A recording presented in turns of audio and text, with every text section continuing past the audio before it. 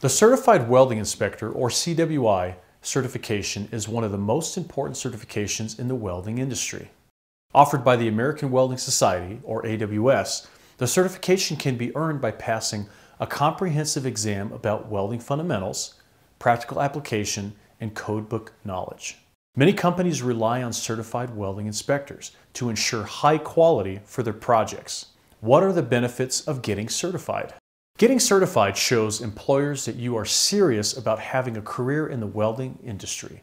The AWS has high standards, so the CWI exam is a long, difficult test.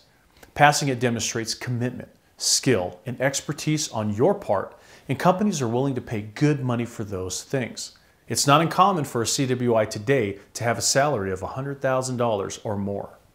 With the certification, your career will become more stable and you'll have more options for work. What is the AWS? The AWS is a top nonprofit organization that advances the science and application of welding.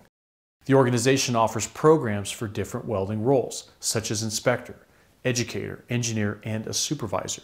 Companies turn to AWS to qualify and certify their welding employees. The CWI certification is one of the most popular AWS programs because welding inspection is a critical component for successful projects. The AWS CWI exam. To become a certified welding inspector, you need to pass the CWI exam from AWS.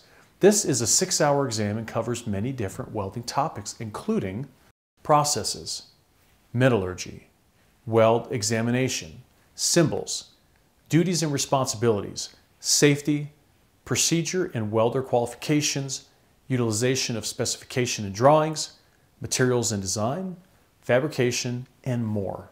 As you can see, the test has a lot of material, so people have to spend many weeks studying just to pass. If you would like online training to pass the exam, we offer a fully online prep course. Our course has 80 hours of teaching, a practice test that simulates the real thing, and lots of quizzes to make sure you understand the material. Go to sicerts.com slash CWI to learn more about the course.